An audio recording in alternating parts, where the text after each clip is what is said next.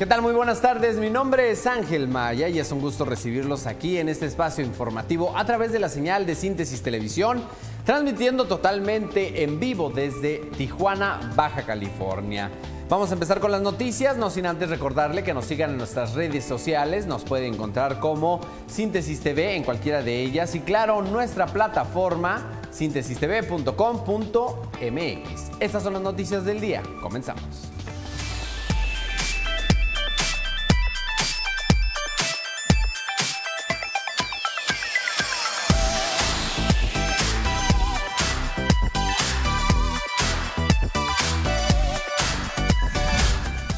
Hasta el día de hoy, a mediodía, ya se reportan más de 16 millones de casos con coronavirus. Para ser exactos, 16 millones 824 mil 259 personas infectadas. Y Estados Unidos sigue siendo el país más afectado con 4 millones 390 mil 491 casos. México se sitúa en el sexto sitio con más casos en el mundo. En cuanto a decesos, la Universidad de Johns Hopkins contabiliza 662.222, ocupando México el cuarto lugar a nivel mundial en esta estadística. Eh, se acumulan también 402.697 casos de COVID y 44.876 defunciones. En Baja California, la última actualización de este miércoles indica que van 13.218 casos de COVID-19 y 2.598 decesos por esta causa.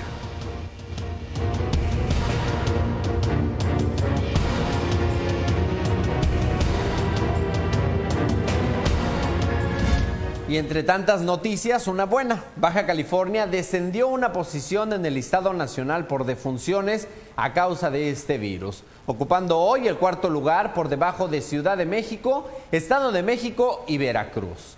Por casos positivos acumulados se mantiene en el sitio número 10 a nivel nacional.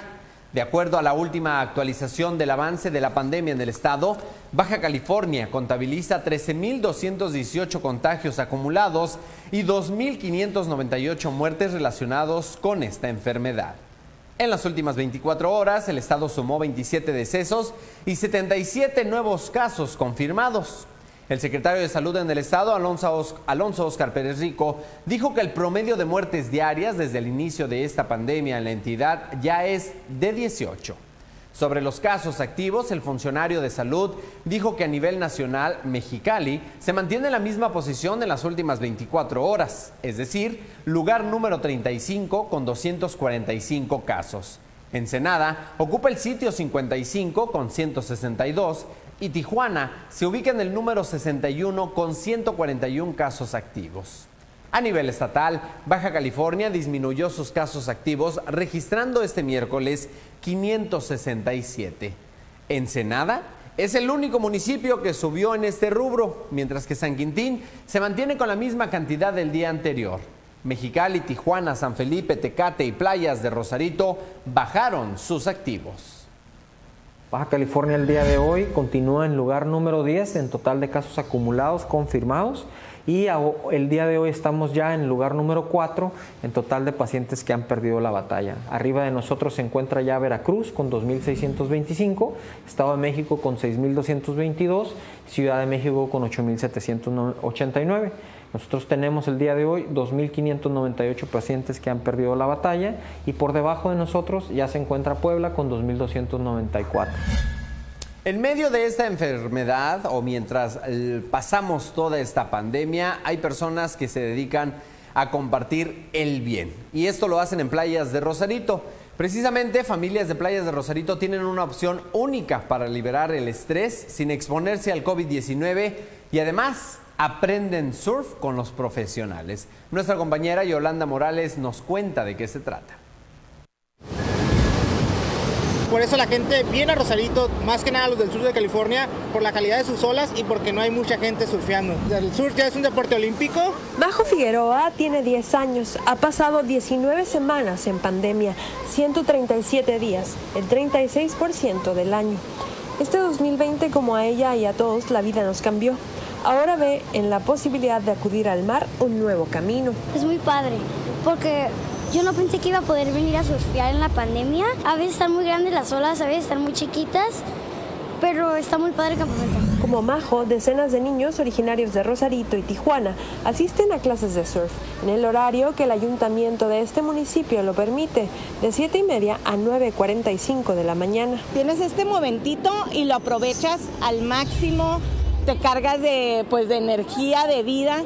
ahora sí que a seguir con la pandemia y seguirnos cuidando, pero al aire libre es lo mejor. La Escuela de Surf Locales tiene más de 15 años de trabajo en Rosarito y la coordina Carlos Luna. Decenas de niños forman parte de esta escuela que ahora brinda otros servicios en medio de una pandemia. Nosotros llegamos aquí a la playa entre 7 y media, 7.40 y nos retiramos 15 minutos antes. Les pedimos a la demás gente que viene a ejercitarse, que viene a disfrutar de la playa, que también lo haga, que no tiene que andar la autoridad tras de nosotros y respetarlo, eso. Sí nos gustaría que se extendiera más, que fuera por las tardes, porque mucha gente trabaja, entonces no tiene esta oportunidad y el mar es una gran oportunidad para salir de tu casa, salir de, del estrés que se vive por esta pandemia. Se atiende a menores de lunes a viernes donde se practica la sana distancia y el cuidado. Ahorita tenemos grupos de 15 y 17 niños, los separamos en tres grupos para que se cumpla lo de la sana distancia y no estar todos en una sola, en una sola área y sí, el 75%, el 90% de los niños son niños que ya han venido antes, entonces para nosotros se nos facilita más. Porque en el mar la vida es más sabrosa. Informó para Síntesis en Rosarito, Yolanda Morales.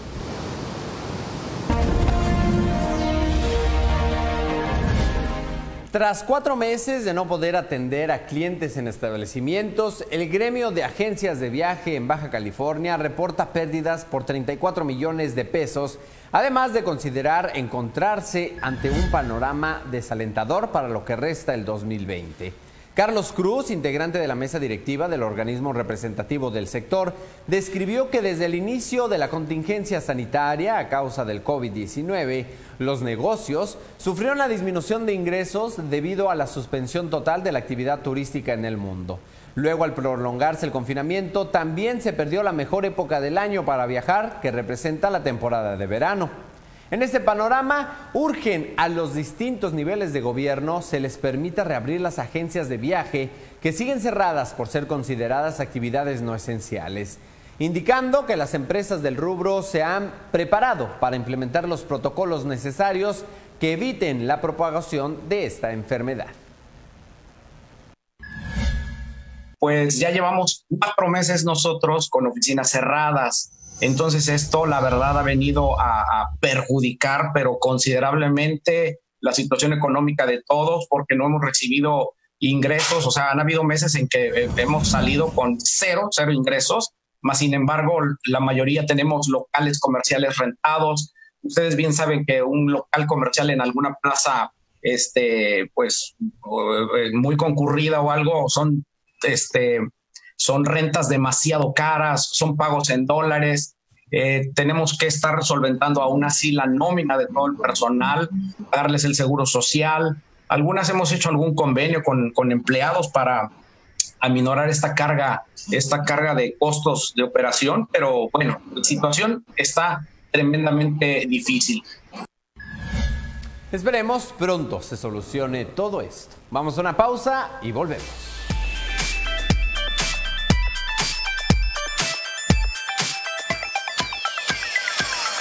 Juana le brinda a usted la experiencia necesaria y los recursos para ofrecer un evento exitoso. Con más de 11 espacios disponibles, le ayudaremos a seleccionar el lugar perfecto para su presupuesto y objetivos, desde opciones de montaje, entretenimiento y decoración detallada a cargo de nuestro equipo profesional de eventos. Su ubicación céntrica y su amplio estacionamiento hacen a Grand Hotel el lugar ideal para todo tipo de eventos sociales, así como seminarios, conferencias y eventos de negocios. ¿Ya viste lo complejo que son los planes y promociones que ofrecen las otras compañías celulares? En Easy, solo para nuestros clientes tenemos un solo plan, Easy Móvil. El plan que por solo 250 pesos al mes te da datos, llamadas y SMS ilimitados. Así de fácil. Esto no es una promoción. Esto es el nuevo Easy Móvil Elige creer en ti. Elige Universidad Xochicalco. Ya están abiertas nuestras inscripciones en línea. Elige construir tu futuro y estudia la licenciatura en arquitectura. Pregunta por nuestro sistema de revalidación de materias. Concluye tu licenciatura en una universidad de prestigio. Universidad Xochicalco. Siempre primero, siempre adelante. Vive el verano a lo grande con Ley. Fresco, saludable, seguro. Y cuidando el dinero. Elote Cerdes 12.50. Agua natural pureza vital 11.50. Jugos Jumex 3 x 9.50. Vive el verano a lo grande Ley.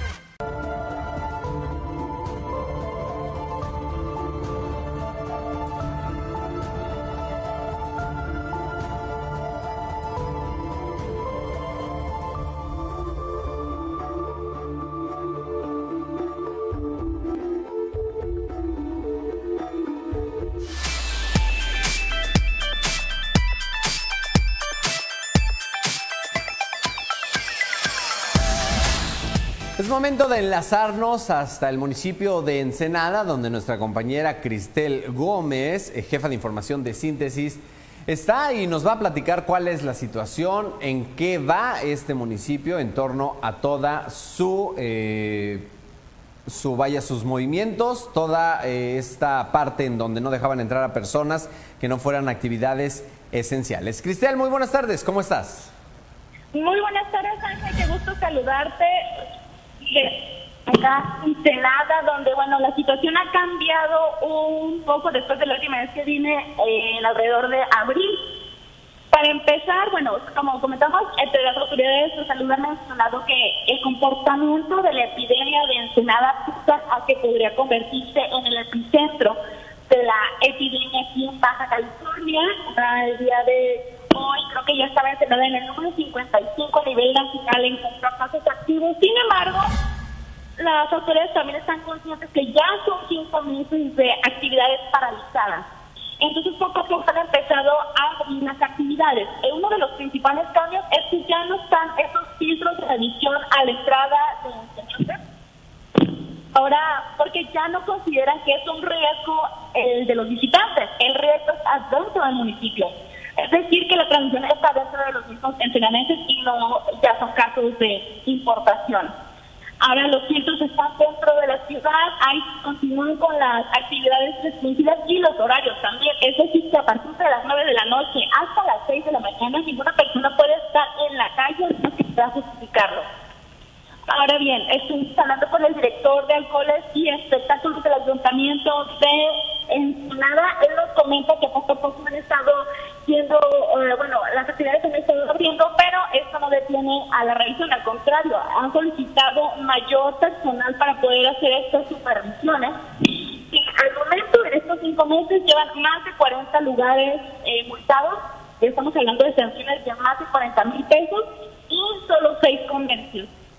Hablamos con él sobre que las cifras parecen ser muy pocas para el nivel de tanto de población como de comportamiento de la epidemia, sin embargo, comenta que se han hecho hasta tres apercibimientos, ya cuando son la tercera advertencia, como ya se procede a la multa.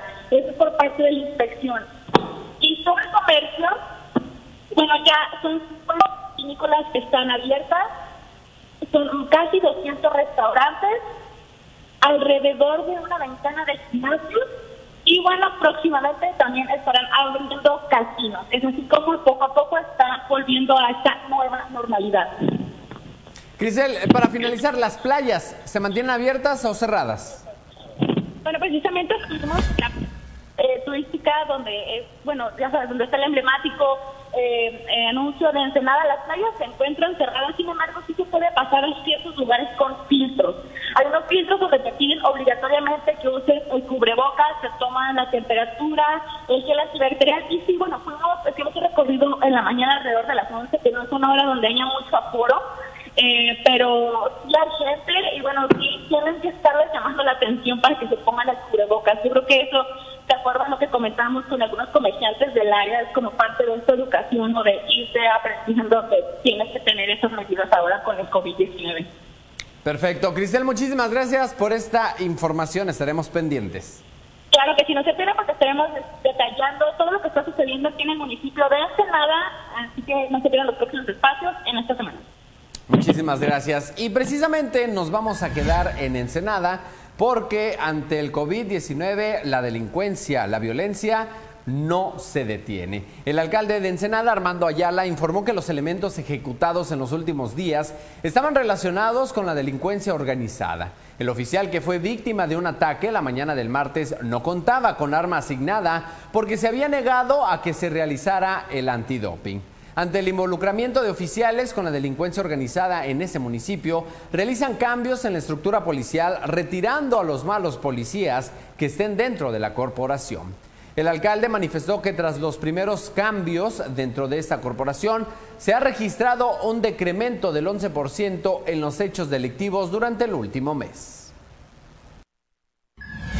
La mayoría de los casos donde se han visto inmiscuidos eh, policías en casos de homicidios son que tienen que ver en algún aspecto, alguna relación con el crimen organizado. Entonces, este, ese es el, resultado pues, de también querer ir, querer ir avanzando, que se presentan algunos casos como este. Nos preocupan, sí, nos ocupan también, y es por ello que eh, los, eh, los homicidios de alto impacto nos han venido a trabajar en una coordinación más estrecha con las federaciones y Estado precisamente para firmar estos convenios, tener refuerzos, tener más equipo, tener más vigilancia, Bien, Ensenada ya está trabajando sobre la reapertura del comercio, pero ahora nos vamos a Mexicali. ¿Qué sucede en la capital del país? Continúa la reapertura de actividades económicas y esta vez las autoridades del municipio autorizaron la reapertura de hoteles en San Felipe, pero solo para residentes de Mexicali y las playas públicas continúan cerradas. Esta semana los hoteleros del puerto de San Felipe entregaron a la autoridad municipal los protocolos sanitarios que aplicarán para poder abrir al público en esta pandemia, que incluyen operar con un máximo del 30% de ocupación. Gracias a este acercamiento, la alcaldesa de Mexicali, Marina del Pilar Ávila, anunció que este próximo fin de semana reabrirán sus puertas los hoteles de San Felipe, pero únicamente para residentes del municipio. Al 30% de su capacidad y con reservaciones para turismo eh, mexicalense, turismo local. Hay que recordar que eh, la restricción a Mexicali es únicamente eh, en donde permitimos el ingreso a residentes mexicalenses. Marina del Pilar dijo que si bien es cierto, se está reactivando paulatinamente la economía, la recomendación a todos los mexicalenses sigue siendo quedarse en casa y aplicar el distanciamiento social así como todas las medidas sanitarias ordenadas por las autoridades de salud. Particularmente lo que estamos sugiriendo nosotros es que sean adultos, ¿no? que sigamos cuidando a los niños. Ok, aquí también hay que precisar, el quédate en casa sigue siendo la principal recomendación para evitar contagios. Sin embargo, bueno, entendemos que el empleo, que el desarrollo, que eh, la reactivación económica tiene que darse, lo estamos haciendo de manera gradual. Las playas públicas como el malecón también seguirán cerradas pero no las de los hoteles. Serán estos negocios los responsables de implementar los protocolos sanitarios en la playa. Eh, las playas públicas continúan cerradas, el malecón continúa cerrado y en los hoteles se van a determinar los protocolos para que en las playas puedan estar eh, familias con sana distancia. Por último, la alcaldesa advirtió que si se presenta algún brote de COVID, no dudarán en cerrar de nueva cuenta los negocios no esenciales del municipio. Ellos saben, ellos saben que la reapertura también eh, pues se corre el riesgo de, volver a cerrar, ¿no? Pero tenemos ya cuatro meses y medio con el comercio eh, cerrado y pues tenemos que ir adaptándonos a esta nueva normalidad poco a poco, de manera gradual. En Mexicali con edición de Fernanda Mesa, reportó Heriberto Reyes, estar informado en síntesis. Regresamos a Tijuana, en donde vecinos afectados por la caseta de cobro de playas de Tijuana dijeron tener la esperanza de que esta semana se dé una solución al cobro de peaje para los residentes que se ven en la necesidad de pasar por este punto y que deriva un gasto para 12 mil personas que viven en esta zona. Esto tras el anuncio del gobernador del estado, Jaime Bonilla, de tratar dos puntos con el gobierno federal y que beneficien a los afectados con la entrada de una tarjeta que les permita el libre acceso y que solo tendría un costo único de 100 pesos por dicha tarjeta, o que la caseta de cobro será reinstalada en un punto que quede fuera de la ciudad y no divida a playas de Tijuana como actualmente sucede. Ahorita pues es una una propuesta, esperemos en Dios que sí sea, se, se, lleve a cabo y pues el acuerdo pues ya, ya sabes, ¿no? El gobernador lo leyó, ahí los dos puntos que son los 100 pesos del chip, estamos totalmente, pues estamos de acuerdo, ¿no? Oye, estar pagando las, millon, los, las millonadas que pagamos anualmente a, a, a 100 pesos único pago, pues no, yo creo que está súper bien, ¿no? Porque ya la caseta está dentro del municipio, ya está dividiendo la delegación de playas de Tijuana y según lo que entendí que la orden del presidente fue no, entonces que se vaya al límite con el municipio de Rosarito. Vamos a una pausa comercial y regresamos.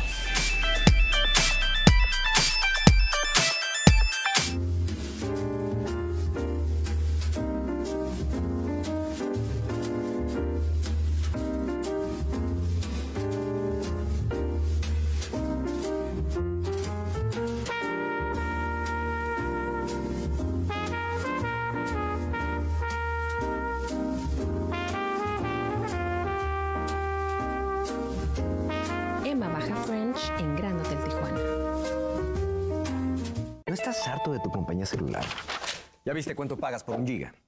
Presentamos para nuestros clientes Móvil, nuestro nuevo servicio de telefonía celular, con datos, telefonía y SMS ilimitados por solo 250 pesos al mes, con una red confiable y la mayor cobertura. Esto no es una promoción, esto es el nuevo Easy Móvil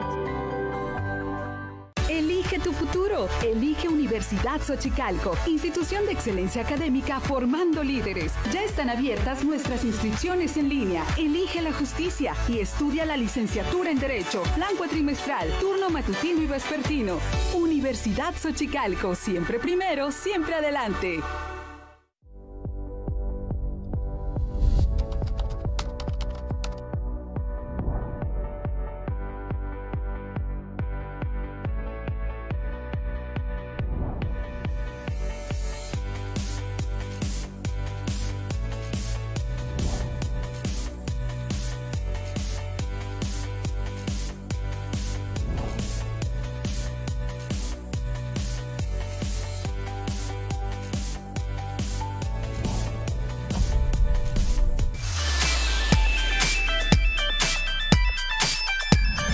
¿Qué sucede en el mundo deportivo? Nuestro compañero Jorge Camacho tiene los detalles.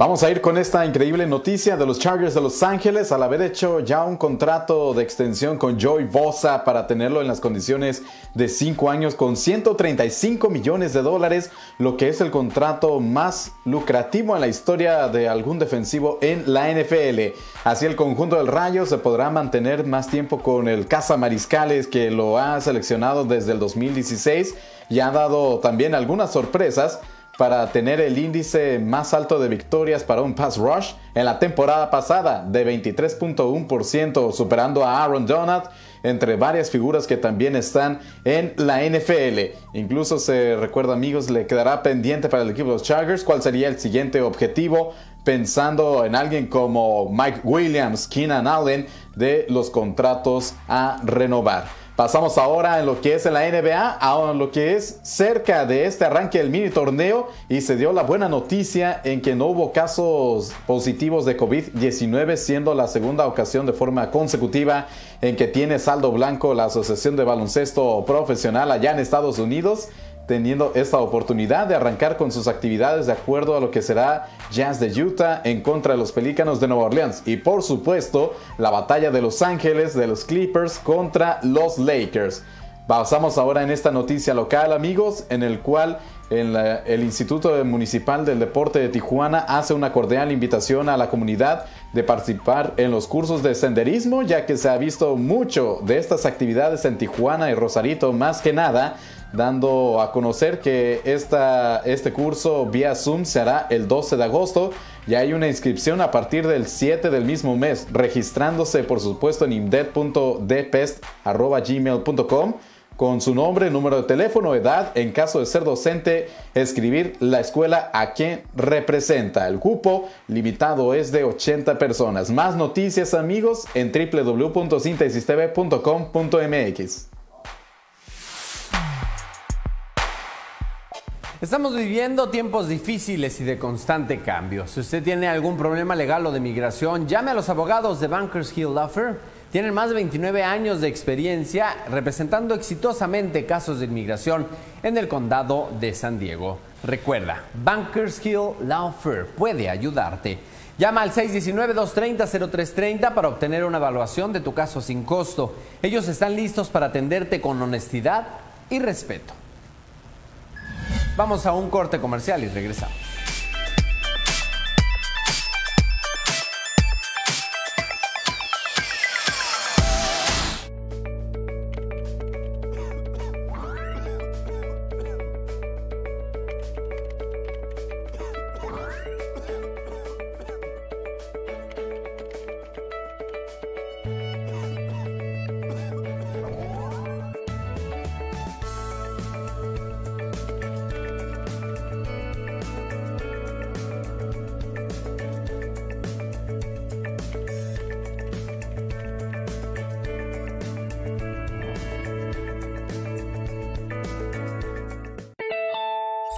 Datos ilimitados en tu celular. Si eres cliente de Easy, te damos datos, llamadas y SMS ilimitados. Sí, escuchaste bien, datos ilimitados. Para que puedas disfrutar del contenido que más te gusta. Una red confiable con la mayor cobertura. Todo por 250 pesos al mes. Esto no es una promoción. Esto es el nuevo Easy Móvil.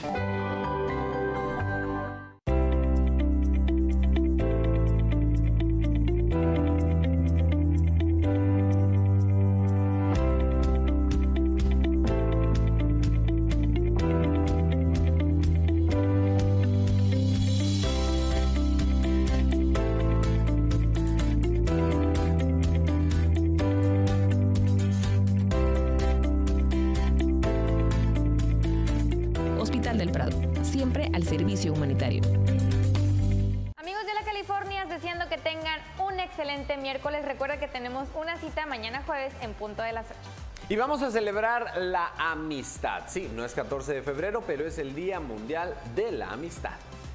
Además, si tú quieres conocer un poco sobre la araña bailarina, una científica nos va a platicar de qué se trata. Y bueno, ¿sabes cómo maquillarte cuando tengas todas estas videoconferencias por Zoom? Ah. Te vamos a pasar los mejores tips para que no te veas toda podonga. Nos vemos mañana, qué horas? A las 8.